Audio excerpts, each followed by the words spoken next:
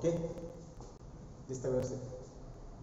चला कालच्या लेक्चरला आपण शेप ऑफ ऑर्बिटल बघितलं त्यानंतर एनर्जी ऑफ ऑर्बिटल बघितलं त्याच्यामध्ये काही तांत्रिक अडचणीमुळे व्हिडिओ स्टॉप झाला होता.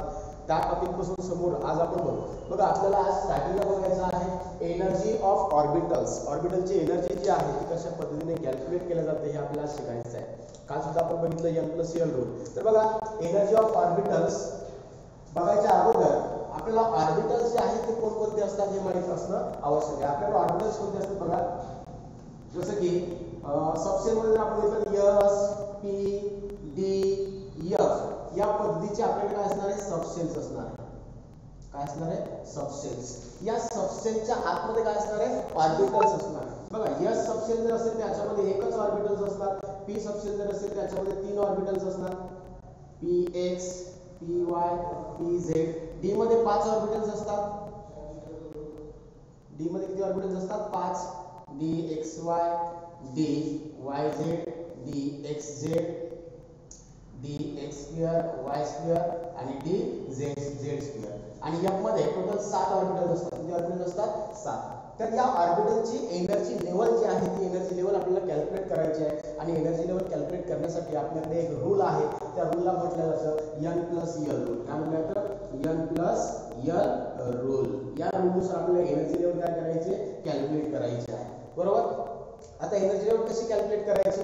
बघा आपल्याकडे ऑर्बिटल असणार one S two S two P three S three P three D four S four P four D अशा पद्धतीने ऑर्बिटल असणार आता या ऑर्बिटलचा जो सिक्वेन्स तयार झालेला आहे तो एनर्जीनुसार तयार झालेला आहे. ही एनर्जी कशी कॅल्क्युलेट केल्या जाते? एनर्जी कॅल्क्युलेट करण्यासाठी आपल्याला यूज करायचा एन प्लस एन रूल याच्यामध्ये एन म्हणजे काय असणार आहे? प्रिन्सिपल क्वांटम नंबर काय असणार? प्रिन्सिपल क्वांटम नंबर आणि यल म्हणजे काय असणार आहे?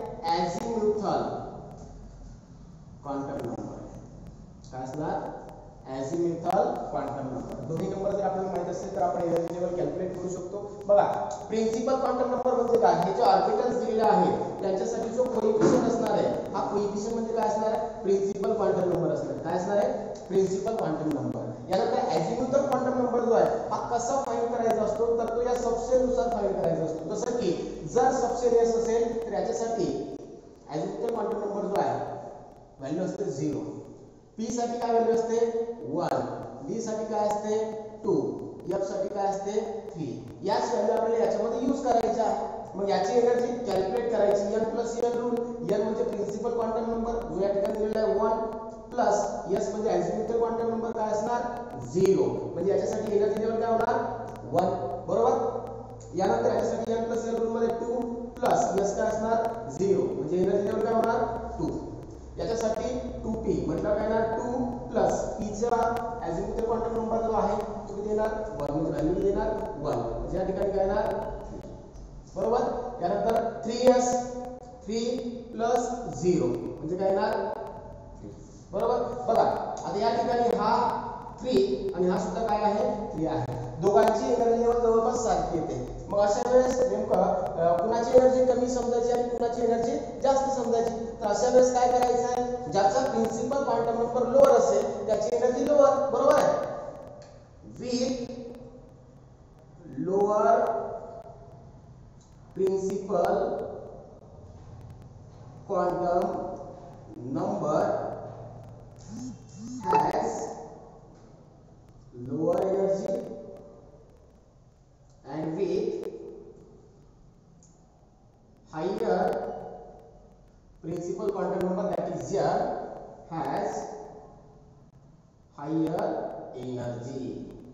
ज्याचा प्रिन्सिपल क्वांटम नंबर मोठा असेल त्याची एनर्जी जास्त असणार. ज्याचा छोटा असेल त्याची एनर्जी कमी असणार. मग या टू पी ची एनर्जी कमी आहे आणि थ्री एच ची एनर्जी कशी आहे? जास्त आहे. समोर या ठिकाणी थ्री आहे. Principal quantum number three plus P ची व्हॅल्यू किती आहे one is equal to four परत डी थ्री प्लस डी साठी किती आहे टू आहे म्हणजे किती होणार फाईव्ह फोर इयर्स आता या ठिकाणी फोर इयर्स मध्ये four plus zero is equal to काय येणार फोर येणार बरोबर? आता या ठिकाणी बघा हा किती आहे फाईव्ह हा? किती आहे फोर कुणाची एनर्जी किती असणार या फोर एची एनर्जी कमी असणार आणि या थ्री डीची एनर्जी जास्त असणार. त्यामुळे जेव्हा जेव्हा तुम्ही इलेक्ट्रॉनिक कॉन्फिगरेशन कराल तेव्हा फोर इयर्स e हा अगोदर घ्यायचा आणि थ्री डी हा नंतर घ्यायचा. लक्षात ठेवा. एनर्जी ऑर्डरनुसार बरोबर? आहे तुम्हाला एनर्जीनुसार इलेक्ट्रॉनिक कॉन्फिगरेशन करायचं कशानुसार इलेक्ट्रॉनिक कॉन्फिगरेशन करायचं आहे एनर्जीनुसार मग या ठिकाणी थ्री डी जो आहे याची एनर्जी लेवल किती येते फाईव्ह आणि फोर एची एनर्जी लेवल किती येते म्हणजे कुणाची एनर्जी कमी असणार? फोर एचची ज्याची एनर्जी लेवल कमी असणार त्याच्यामध्ये इलेक्ट्रॉन अगोदर फिल करायचा आहे. मग अगोदर इलेक्ट्रॉन कुणामध्ये जाणार? फोर एसमध्ये जर इलेक्ट्रॉन शिल्लक असेल तर ते कुठे फिल केले जातील? थ्री डी मध्ये आणि लक्षात समोर जसं आपण एन एनर्जी कॅल्क्युलेट केली याच पद्धतीने एनर्जी काय करायची आहे? कॅल्क्युलेट करायची आहे. हे झालं एनर्जी लेवल आलं लक्षात? समजलं सर्वांना. याच्यानंतर समोर आपण बघायचं अबो प्रिन्सिपल आता जसं या ठिकाणी ही एनर्जी लेवल आपण घेतलेली आहे किंवा एनर्जी ऑर्डर तयार झालेली या पद्धतीची हीच जो ऑर्डर अब्बो प्रिन्सिपलमध्ये अरेंज केलेली आहे ती एक डायग्राम आहे. त्या डायग्रामलाच अब्बो प्रिन्सिपल असं म्हटलं जातं. बघा.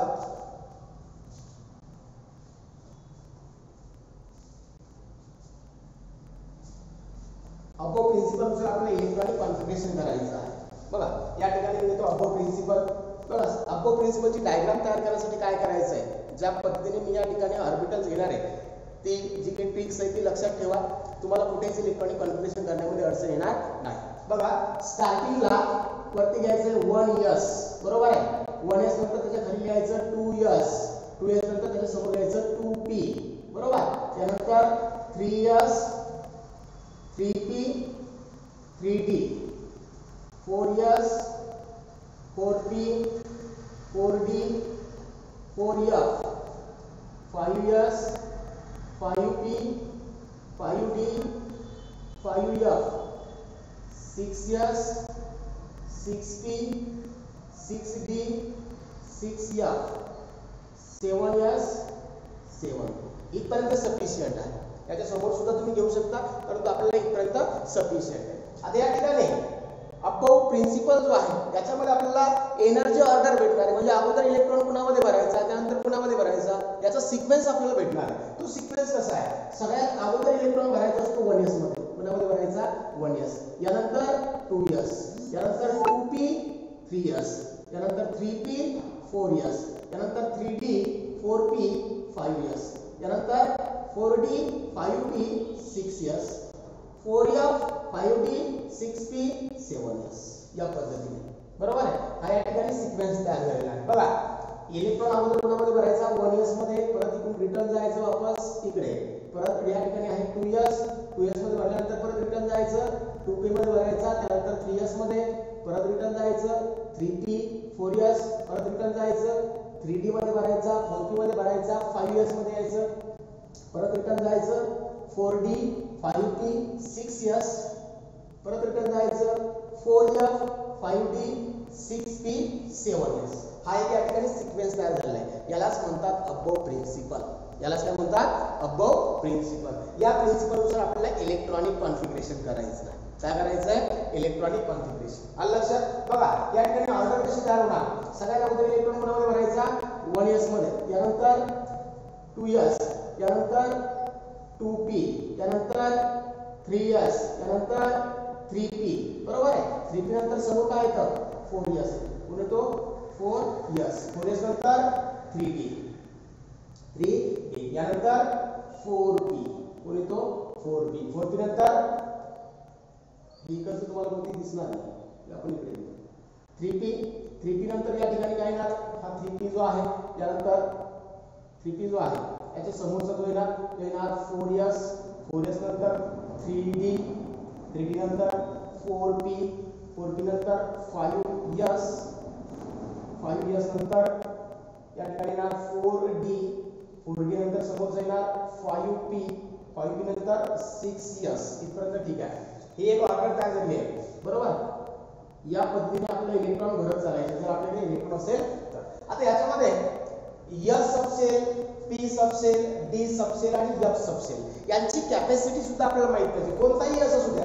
वन एस असेल टू एस असेल थ्री एस असेल four S five S six S seven S कोणताही एस असू द्या. त्याच्यामध्ये जास्तीत जास्त दोन इलेक्ट्रॉन बसणार. म्हणजे इलेक्ट्रॉन कॅपॅसिटी जी आहे एस ची ती किती इलेक्ट्रॉनची आहे? दोन इलेक्ट्रॉनची जसं एसमध्ये दोन इलेक्ट्रॉन बसतील तसंच पी मध्ये किती इलेक्ट्रॉन बसणार आहे? सहा इलेक्ट्रॉन पी मध्ये किती इलेक्ट्रॉन बसणार? सहा इलेक्ट्रॉन पी मध्ये जसे सहा इलेक्ट्रॉन आहे तसे डी मध्ये सुद्धा दहा इलेक्ट्रॉन बसणार. त्याची सुद्धा कॅपॅसिटी फिक्स आहे. किती इलेक्ट्रॉनची आहे? दहा इलेक्ट्रॉनची म्हणजे डी मध्ये किती इलेक्ट्रॉन बसणार? दहा.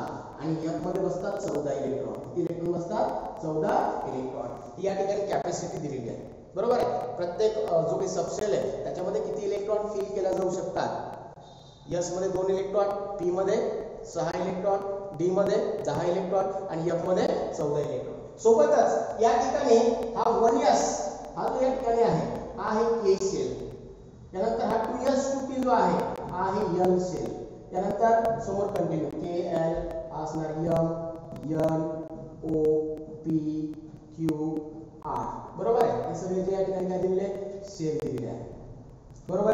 के सेल मध्ये एकच सबसेल आहे वन एस एल सेल मध्ये दोन आहे टू एस टू पी बरोबर? एम सेल मध्ये तीन आहे. Three S three P three D बरोबर? म्हणजे याला आपण प्रिन्सिपल क्वांटम नंबरने इंडिकेट करू शकतो जसं की के साठी वन असणार एलसाठी असणार टू एमसाठी असणार थ्री एनसाठी असणार फोर ओ साठी असणार फाईव्ह पी साठी असणार सिक्स क्यू साठी असणार सेवन आणि याच्या समोर जर आपण असणार असणार.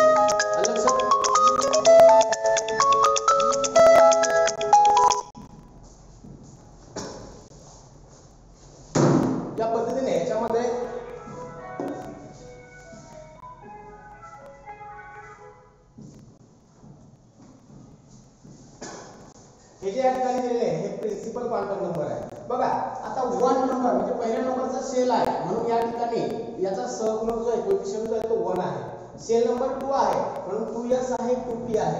सेल नंबर थ्री आहे म्हणून three S three P three D. म्हणजे प्रिन्सिपल कॉन्टॅक्ट नंबर जेवढा असेल तेवढेच सबसेल याच्यामध्ये प्रेझेंट आहे. आणि त्याचा कोइफिशियंट सुद्धा सेम नंबर आहे. जसं या ठिकाणी फाईव्ह हा प्रिन्सिपल कॉन्टॅक्ट नंबर झाला बरोबर आहे? तर याच्यासाठी फाईव्हसाठी सहगुणक बघा five S five P five D. Five F आणि समोर कंटिन्यू असणार. याच्यामध्ये पाच सबसेल असणार. आलं लक्षात जसं प्रिन्सिपल क्वांटम नंबर जो असेल तोच या ठिकाणी काय असणार आहे? कोएफिशियंट असणार. आहे आलं लक्षात हे झालं अबो प्रिन्सिपल याच्यानुसार आपल्याला इलेक्ट्रॉनिक कॉन्फिगरेशन करायचं आहे. याच्यानंतर समोर इलेक्ट्रॉनिक कॉन्फिगरेशन करण्याअगोदर आपला पुढचा जो एक नियम बघायचा आहे तो आहे पावलीचा प्रिन्सिपल बघा आपण एनर्जी ऑर्डर बघितली त्यानंतर अब्बो प्रिन्सिपल बघितलं. आता आपल्याला बघायचं पावलीचे एक्सक्लुजन प्रिन्सिपल पावलीचा एक्सक्लुजन प्रिन्सिपल जो आहे तो काय सांगतो? बघा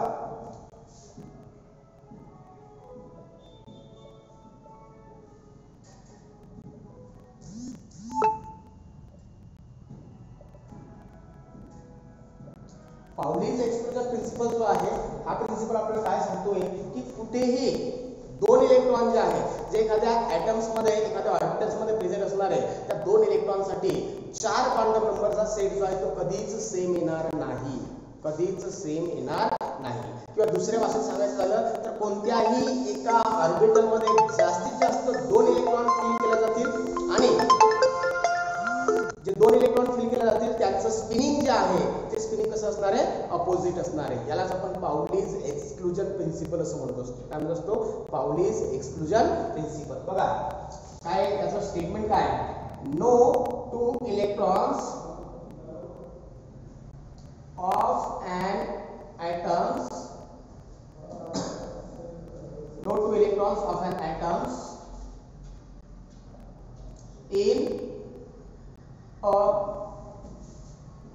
orbital in orbital having same set of four quantum numbers बघा असे कोणतेही दोन इलेक्ट्रॉन असणार नाही जे एका ऑर्बिटलमध्ये आहे आणि त्यांच्यासाठी चारही क्वांटम नंबरचा सेट जो आहे तो सेम असणार आहे. असं होणार नाही. किंवा याला दुसऱ्या भाषेमध्ये आपण म्हणू शकतो or in a orbital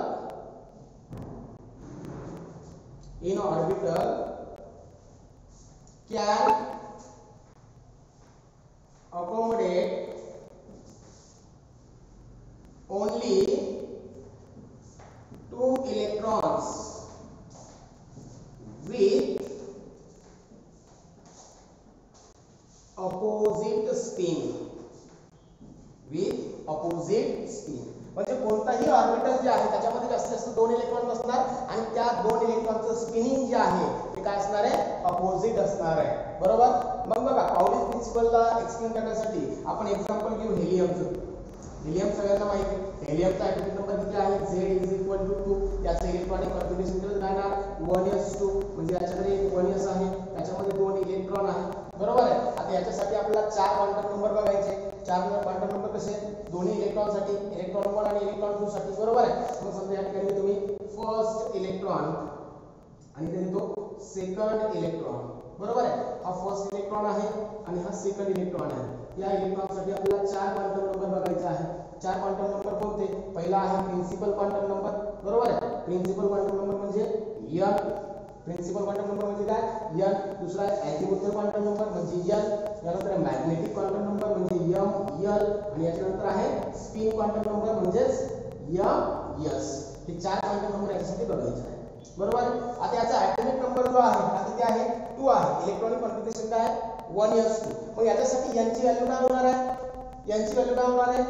one यांची व्हॅल्यू काय होणार वन जर यन वन आहे तर अॅझिमुथल क्वांटम नंबर म्हणजे l काय असणार आहे? एल काय असणार? झिरो याच्यासाठी एल काय असणार आहे? झिरो बघा प्रिन्सिपल क्वांटम नंबर म्हणजे सेलचा नंबर वन आहे. म्हणून या ठिकाणी व्हॅल्यू वन घेतली.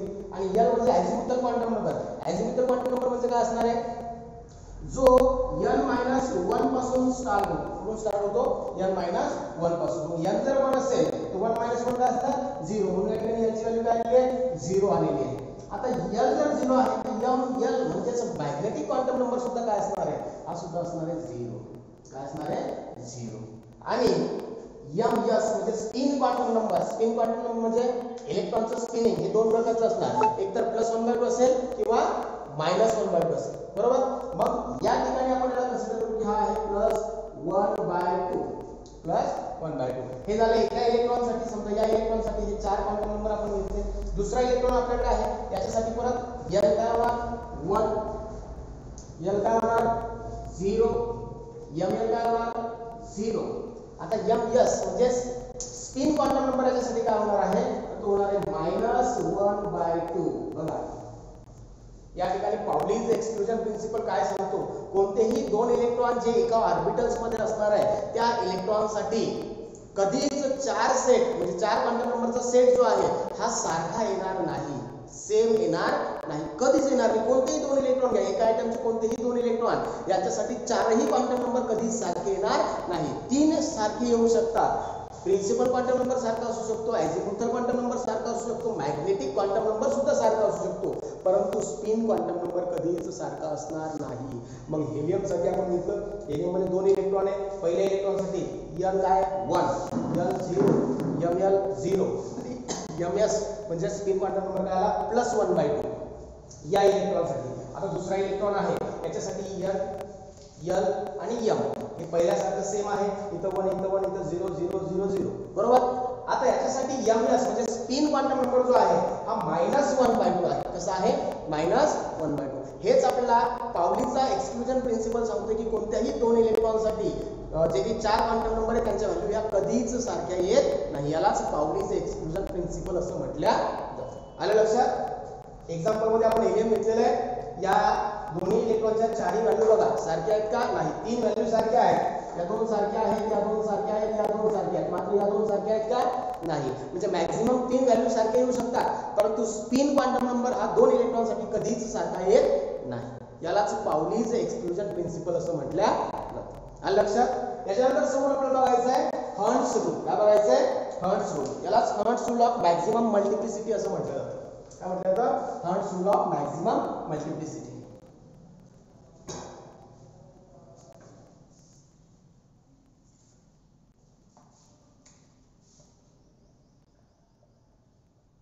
Hund's rule बघा हर्ट्स रूल काय सांगतोय? आपल्याकडे ऑर्बिटल्स असतात बघा. वन एस असतो वन एसमध्ये एकच त्यानंतर टू पी बरोबर आहे? टू पी मध्ये किती असणार? तीन असणार एक दोन तीन. त्यानंतर थ्री डी थ्री डी मध्ये किती असणार? एक दोन तीन चार पाच. असे असतात बरोबर आहे? त्यानंतर फोर एफ फोर एफमध्ये किती असणार? सात. एक दोन तीन चार पाच सहा सात. अशा पद्धतीचे. बरोबर आहे? हंड्स रूल आपल्याला या ठिकाणी यूज करायचा आहे. बघा. वन एस असू द्या किंवा कोणताही एस असू द्या one S two S three S four S five S कोणताही एस असू द्या त्याच्यामध्ये जास्तीत जास्त एकच ऑर्बिटर असणार आहे. आणि एका ऑर्बिटरमध्ये मॅक्झिमम किती इलेक्ट्रॉन बसणार? दोन इलेक्ट्रॉन आणि दोघा दोन्ही इलेक्ट्रॉनचं स्पिनिंग कसं असणार आहे? अपोजिट असणार आहे. बरोबर? यालाच आपण पावलीचं प्रिन्सिपल म्हटलेलं आहे. एका ऑर्बिटरमध्ये जास्तीत जास्त दोन इलेक्ट्रॉन आणि स्पिनिंग अपोजिट यालाच पावलीचं प्रिन्सिपल म्हटलेलं आहे. आता हंड्स रूल काय आहे? या हा जो वन एस आहे हा सोडून द्या. आपला हंड्स रूल यूज करायचा आहे टू पी साठी थ्री डी साठी आणि फोर एफसाठी. किंवा कुठलाही टी असू द्या कुठलाही डी असू द्या आणि कुठलाही एफ असू द्या. याच्यासाठी हंड्स यूज करायचा आहे. हंड्स काय सांगतोय? जेव्हा तुम्ही इलेक्ट्रॉन फिल करत असाल बरोबर आहे? तर इलेक्ट्रॉन फिल करताना पी मध्ये किती इलेक्ट्रॉन बसतात? पी मध्ये किती इलेक्ट्रॉन बसतात? सहा इलेक्ट्रॉन असतात किती इलेक्ट्रॉन बसतात? सहा. तर इलेक्ट्रॉन फिल करत असताना कधीच इलेक्ट्रॉन डायरेक्ट पेअर करायचे नाही. डायरेक्ट क्लिअर करायचे का? नाही. आणि डायरेक्ट क्लिअर करायचे नाही. तुम्हाला अगोदर काय करायचं आहे? तुमच्याकडे जेवढे इलेक्ट्रॉन आहे समजा याच्यामध्ये सहा इलेक्ट्रॉन बसतात आणि आपल्याकडे चार इलेक्ट्रॉन आहे. किती इलेक्ट्रॉन आहे? चार. तर कधीच असं करायचं नाही. दोन याच्यामध्ये आणि दोन याच्यामध्ये. हा एमपी ठेवायचा. असं करायचं नाही. हंड्स काय सांगतोय? तुम्हाला इलेक्ट्रॉन अगोदर सिंगल सिंगल फिल करायचे आहे. म्हणजे याच्यामध्ये एक इलेक्ट्रॉन याच्यामध्ये एक इलेक्ट्रॉन याच्यामध्ये एक इलेक्ट्रॉन सिंगल सिंगल फिल केल्यानंतर जर इलेक्ट्रॉन उरत असेल शिल्लक राहत असेल तर त्याला पेअर करायचंय. याला म्हणतात हंड्स त्याला काय म्हणतात? हंड्स होईल. म्हणजे तुमच्याकडे जेवढे इलेक्ट्रॉन आहे तेवढे इलेक्ट्रॉन अगोदर सिंगल सिंगल डिस्ट्रीब्यूट करायचे. जर इलेक्ट्रॉन शिल्लक राहत असेल तर पेअरिंग करायचं तर काय करायचंय? पेरिंग तोपर्यंत पेरिंग करायचं नाही. मग जर आपल्याकडे चार इलेक्ट्रॉन आहे अगोदर तीन इलेक्ट्रॉन सिंगल टाकले उरला तो इलेक्ट्रॉन पेअर केलं. याला म्हणतात हंड्सूल जर तुमच्याकडे पाच इलेक्ट्रॉन असेल तर या ठिकाणी आणखी एक पेअर होणार. जर सहा इलेक्ट्रॉन असेल तर तीनही पेअर होणार. लक्षात? आता समजा तुम्हाला डी मध्ये इलेक्ट्रॉन भरायचे आणि तुमच्याकडे इलेक्ट्रॉन आहे सहा. किती इलेक्ट्रॉन आहे? सहा. तुम्ही काय करणार आहे? एक दोन तीन चार पाच सहा. असं भरणार आहे का? नाही. असे इलेक्ट्रॉन जर फिल केले तर ते चुकीचं होईल. हर्ट्स रूल काय सांगतोय? तुमच्याकडे सहा इलेक्ट्रॉन आहे आणि डी मध्ये पाच ऑर्बिटल आहे. अगोदर पाच इलेक्ट्रॉन सिंगल सिंगल पेअर त्या ठिकाणी फिल करा. सिंगल सिंगल इलेक्ट्रॉन काय करायचे? फिल करायचे. मग आपल्याकडे सहा इलेक्ट्रॉन आहे आणि आपल्याकडे ऑर्बिटल पाच आहे. एक दोन तीन चार आणि पाच. पाच इलेक्ट्रॉन फिल केले एक इलेक्ट्रॉन शिल्लक आहे. आता एका इलेक्ट्रॉनला या ठिकाणी काय करायचं आहे? पेअर करायचं आहे. आणि जेव्हा जेव्हा तुम्ही पेरिंग कराल तेव्हा त्याचं स्पिनिंग अपोजिट यायला पाहिजे. स्पिनिंग कसं यायला पाहिजे? अपोजिट यालाच म्हटलं जातं हर्स रूल ऑफ मॅक्झिमम मल्टिप्लिसिटी आलं लक्षात? त्याला काय म्हटलं जातं? हर्स रूल बरोबर? बघा आपण काय बघितलं? एनर्जी ऑफ ऑर्बिटल बघितलं अपो प्रिन्सिपल बघितलं पावलीज एक्सप्रेशन प्रिन्सिपल बघितला आणि हर्ट्स रूल बघितला. याच्यानुसार आपल्याला करायचं आहे इलेक्ट्रॉनिक कॉन्फिग्रेशन काय करायचं आहे? इलेक्ट्रॉनिक कॉन्फिग्रेशन इलेक्ट्रॉनिक कॉन्फिग्रेशन करण्यासाठी अपो प्रिन्सिपल सर्वात महत्त्वाचा. आणि त्यानंतर पावलीज एक्सक्लुजन आणि हर्ट्स रूल हे तुम्ही प्रॅक्टिसमध्ये प्रॅक्टिस केल्यानंतर तुमच्या लक्षात येऊन जाईल. किंवा आपण तसं त्या ठिकाणी हर्ट्स रूल आणि पावलीज एक्सक्लुजन प्रिन्सिपल जो आहे तो लक्षात येते इलेक्ट्रॉनिक कॉन्फिगरेशन करता वेळेस कारण आपल्याला त्या ठिकाणी सवय होऊन जाते. त्यामुळे ही डायग्राम लक्षात ठेवायची आहे. याच्यानुसार आपल्याला काय करायचं? इलेक्ट्रॉनिक कॉन्फिगरेशन आता काही एक्झाम्पल आपण या ठिकाणी इलेक्ट्रॉनिक कॉन्फिगरेशनसाठी बघा इलेक्ट्रॉनिक कॉन्फिगरेशन करायचं आहे. स्टार्टिंगचा कार्बन कार्बनचा ऍटोमिक नंबर किती आहे? Z is equal to six याचं इलेक्ट्रॉनिक कॉन्फिगरेशन करायचं. बघा ऍटम असू द्या किंवा आयन असू द्या आपल्याला इलेक्ट्रॉनिक कॉन्फिगरेशन करता येतं. आता हा ऍटम घेतलेला आहे. ऍटम कस हा ऍटम आहे कशावरून सांगितलं? कारण हा न्यूट्रल आहे. जर याच्यावर चार्ज असला तर याला आयन म्हटलं असतं. याच्यावर चार्ज आहे का नाही? मग सहा इलेक्ट्रॉन याच्याकडे प्रेझेंट आहे. त्याचं इलेक्ट्रॉनिक डिस्ट्रीब्युशन करायचं इलेक्ट्रॉनिक डिस्ट्रीब्युशन जे आहे किंवा इलेक्ट्रॉनिक कॉन्फिगरेशन जे आहे ते दोन वेगवेगळ्या पद्धतीने आपण करू शकतो. बरोबर आहे? एक जो आहे याच्यामध्ये आपण सिम्बॉल यूज करू शकतो आणि दुसरा जो आहे त्याच्यामध्ये आपण बॉक्सचा वापर करून त्या ठिकाणी इलेक्ट्रॉनिक कॉन्फिगरेशन करू शकतो. बघा कार्बनसाठी इलेक्ट्रॉनिक कॉन्फिगरेशन कसं होणार? One S two S two P बरोबर? सिक्वेन्स जो आहे तो या ठिकाणी आपण घेतलेला आहे. या सिक्वेन्सनुसार हा जो सिक्वेन्स आहे तो इथे लिहिलेला आहे त्याच्यानुसार इलेक्ट्रॉनिक कॉन्फिगरेशन करायचं सहा इलेक्ट्रॉन आहे. अगोदर एस आहे. एसमध्ये किती इलेक्ट्रॉन बसणार? दोन इलेक्ट्रॉन म्हणून दोन भरले परत एस आहे किती इलेक्ट्रॉन बसणार? दोन इलेक्ट्रॉन म्हणून दोन फिल केले. त्यानंतर किती बसतात? सहा बसतात. परंतु आपल्याकडे सहा आहे का? नाही. आपल्याकडे फक्त दोनच आहे म्हणून दोन फिल केले. हे झालं याचं इलेक्ट्रॉनिक कॉन्फिग्रेशन काय झालं? इलेक्ट्रॉनिक कॉन्फिग्रेशन यालाच या पद्धतीने सुद्धा दाखवलं जातं. हा वन एस आहे. हा टू एस आहे. आणि हा समोरचा आहे टू पी त्याच्यामध्ये एक आणि याच्यामध्ये एक. हे जे इलेक्ट्रॉनिक कॉन्फिग्रेशन आहे होता है ग्राउंड स्टेट इलेक्ट्रॉनिक कॉन्फिगरेशन होता है आहे? Ground state electronic configuration of carbon कार्बनचं ground state electronic configuration आलं लक्षात? हे झालं कार्बनचं इलेक्ट्रॉनिक कॉन्फिगरेशन त्यानंतर समोर घेऊ आपण. आपण घेऊ होतं नायट्रोजन नायट्रोजन जो आहे याचा आयटमिक नंबर किती आहे? नायट्रोजनचा आयटमिक नंबर आहे सेवन बरोबर? आता या ठिकाणी सेवन ॲटॉमिक नंबर आहे झेड इज इक्वल टू येणार? सेवन येणार. इलेक्ट्रॉनिक कॉन्फिगरेशन काय होणार? One S two two S two two P बरोबर? One S two two S two two P three सात इलेक्ट्रॉन आहे. दोन अधिक दोन चार. चार तीन सात. बरोबर आहे? आता याच्यानंतर समोरचा आपण घेऊ आता घेऊ आपण पोटॅशियम पोटॅशियम पोटॅशियमचा ॲटॉमिक नंबर किती आहे? नाईन्टीन एकोणावीस. बरोबर आहे? याचं इलेक्ट्रॉनिक कॉन्फिगरेशन करायचं आहे. कसं होणार? बघा one S two S two P three S three P बरोबर? आणि थ्री पी नंतर समोर काय येणार? सिक्वेन्सनुसार जर घेतलं तर फोर एस येतो. आणि शेल नुसार जर घेतलं तर थ्री डी येतो. परंतु थ्री डी पेक्षा फोर एच ची लेवल कमी आहे. म्हणून आपल्याला ठिकाणी याला लागणार? फोर एस आणि यानंतर याला लागणार थ्री डी बरोबर? आपल्याला एकोणावीस इलेक्ट्रॉन डिस्ट्रीब्यूट करायचे आहे. बघा टू याच्यामध्ये येणार टू इथे येणार सिक्स परत टू परत सिक्स टोटल किती इलेक्ट्रॉन झाले? अठरा. बघा दोन अधिक दोन चार चार आणि सहा दहा दहा दोन बारा बारा सहा अठरा एक इलेक्ट्रॉन शिल्लक राहिला तो कुठे जाणार? फोर एसमध्ये जाणार. हे एवढं झालं इलेक्ट्रॉनिक कॉन्फिग्रेशन आलं लक्षात असं या ठिकाणी तुम्ही कोणत्याही एलिमेंटचे इलेक्ट्रॉनिक कॉन्फिग्रेशन करू शकता. आता डी ब्लॉक मधला कुठला एलिमेंट आहे? समजा थ्री डी सिरीजमध्ये आपण घेतला scandium S C twenty one atomic number आहे. त्याचं इलेक्ट्रॉनिक कॉन्फिगरेशन करायचं आहे. काय होणार?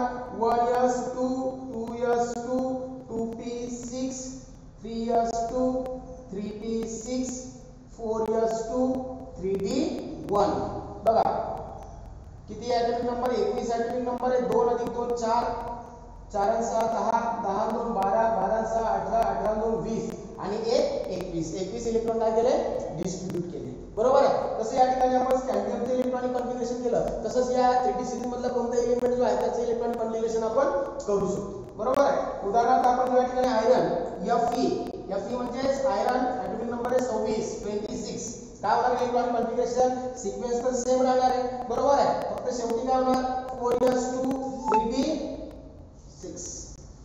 बरोबर आहे? हे इतकं जे आहे इथपर्यंत जे आहे ते सेम राहणार आहे. काय राहणार आहे? सेम बरोबर आहे? आता हे जे इलेक्ट्रॉनिक कॉन्फिगरेशन आहे त्याला आपण कंडन्स फॉर्ममध्ये लिहू शकतो. बघा इथून इथपर्यंत किती इलेक्ट्रॉन होतात? अठरा इलेक्ट्रॉन होतात. अठरा इलेक्ट्रॉन म्हटल्यावर अठरा हा ॲटॉमिक नंबर कोणाचा आहे?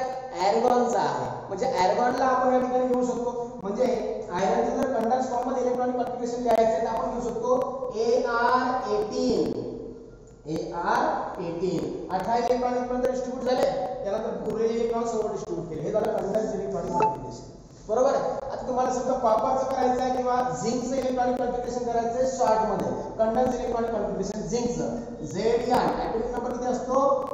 तीस. बरोबर आहे? कसं केलं जाईल? सरळ सरळ शॉर्टमध्ये लिहायचं आहे ए आर एटीन म्हणजे अठरा इलेक्ट्रॉन जे ते ॲडव्हान्सचे आहेत अठरा इलेक्ट्रॉन जे आहेत तसं ॲडव्हान्सचे इलेक्ट्रॉनिक कॉन्फिगरेशन कसं आपण डिस्ट्रीब्यूट केले हे झालं ए आर एटीन आणि याच्या समोर उरलेले इलेक्ट्रॉन लिहायचे? अठरा. म्हणजे बारा इलेक्ट्रॉन उरतात. बारा इलेक्ट्रॉन कसे येणार four S two three D ten हे झालं झिंकचं इलेक्ट्रॉनिक कॉन्फिगरेशन कशाचं इलेक्ट्रॉनिक कॉन्फिगरेशन झालं? झिंक अशा पद्धतीने तुम्ही कोणत्याही एलिमेंटचं काय करू शकता? इलेक्ट्रॉनिक कॉन्फिगरेशन करू शकता.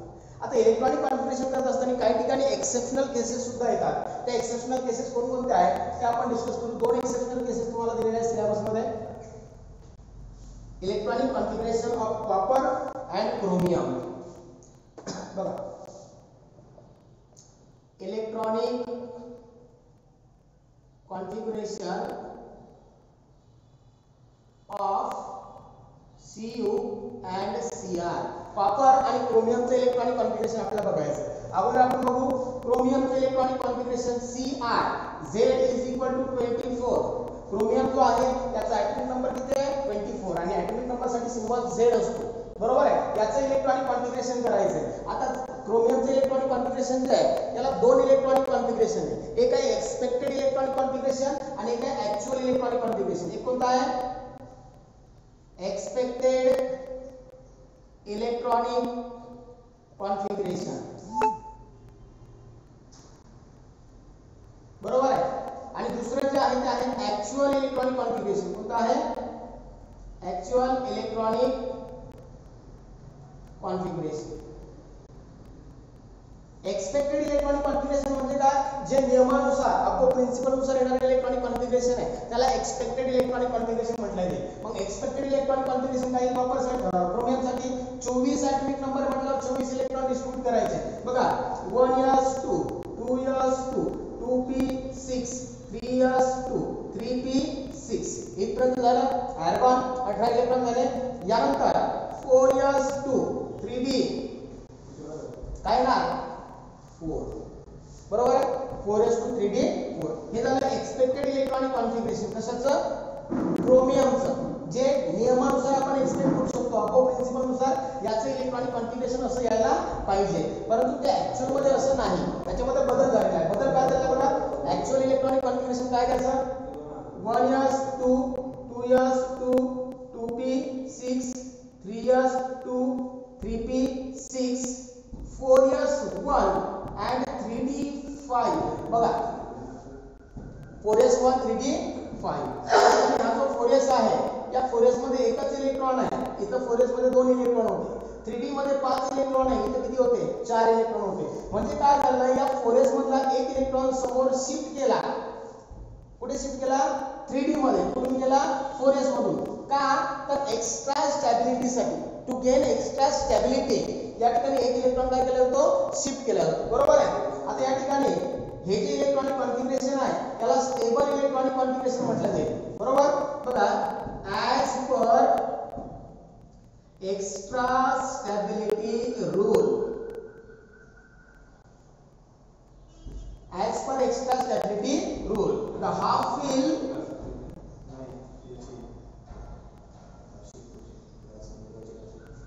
orbitals get extra stability half fill orbital जे आहे त्यांना एक्स्ट्रा स्टॅबिलिटी प्राप्त होते.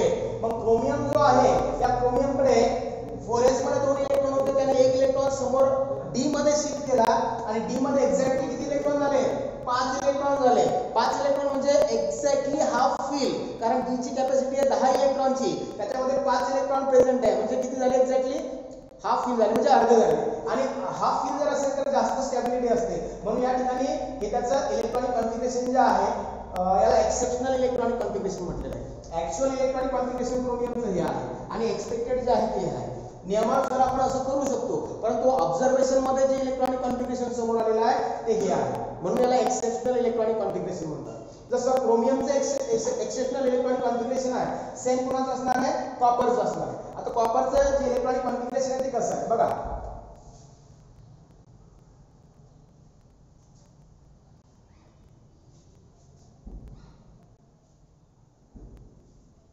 कॉपरचा ऍटॉमिक नंबर किती आहे? सी यू ट्वेंटी नाईन एकोणतीस ऍटॉमिक नंबर आहे कॉपरचा बरोबर आहे? तर कॉपरचं एक्सपेक्टेड नियमानुसार काय एक्सपेक्ट केलं जाईल? One S two two S two two P six three S two three P six four S two and three D nine अशा पद्धतीचं इलेक्ट्रॉनिक कॉन्फिगरेशन आपण एक्सपेक्ट करू. कशानुसार? नियमानुसार. एकोणतीस इलेक्ट्रॉन डिस्ट्रीब्यूट करायचे. दोन अधिक दोन चार चार अधिक सहा दहा दहा दोन बारा बारा सहा अठरा अठरा दोन वीस वीस आणि नऊ एकोणतीस इलेक्ट्रॉन डिस्ट्रीब्यूट केले म्हणजे हे झालं एक्सपेक्टेड एक्सपेक्टेड म्हणजे जे आपण नियमानुसार एक्सपेक्ट करू. नियमानुसार असं यायला पाहिजे परंतु ते असं येत नाही. ऑब्झर्वेशनमध्ये त्याचं इलेक्ट्रॉनिक कॉन्फिगरेशन चेंज झालेलं आहे. ते कसं चेंज होतं बघा? One S two two S two two P six three S two three P six four S one three D ten आता या ठिकाणी इलेक्ट्रॉनिक कॉन्फिगरेशनमध्ये बदल काय झाला? एक्सपेक्टेडमध्ये फोर एसमध्ये दोन इलेक्ट्रॉन होते. ऍक्च्युअलमध्ये फोर एसमध्ये एकच इलेक्ट्रॉन आहे. एक्सपेक्टेडमध्ये थ्री डी मध्ये नऊ इलेक्ट्रॉन होते. ऍक्च्युअलमध्ये थ्री डी मध्ये किती इलेक्ट्रॉन झाले? दहा इलेक्ट्रॉन झाले. म्हणजे या ठिकाणी सुद्धा जो नियम आहे तो आहे एक्स्ट्रा स्टॅबिलिटीचा एक्स्ट्रा स्टॅबिलिटी रूल नुसार जर या ठिकाणी ऑर्बिटल फुलफिल झाला तर त्याला स्टॅबिलिटी जास्त भेटते. बरोबर आहे? As per extra stability rule extra stability rule. Extra stability is are copper, shift its one electron from 4s to 3d and get